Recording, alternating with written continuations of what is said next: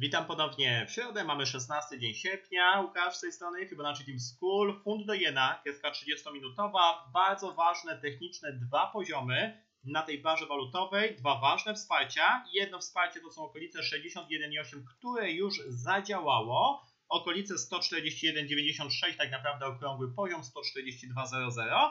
Natomiast ważnym kolejnym poziomem, już takim bardziej geometrycznym, bardziej harmonicznym, to są okolice następnego mierzenia. I tutaj pamiętajmy, że jeżeli ten poziom 61,8 zostanie złamany, zostanie wybity dołem, to zgodnie z metodologią Fibonacciego następnym wsparciem jest następne mierzenie FIBO. Następnym poziomem są oczywiście okolice 78,6 i w tym wypadku ten poziom utworzy nam punkt D układu Gartleya. Układ harmoniczny zaznaczyłem za pomocą dwóch zielonych trójkątów, także pamiętamy na pewno o tych dwóch ważnych wsparciach. Pierwsze 61,8 i tutaj sobie obserwujemy cenę.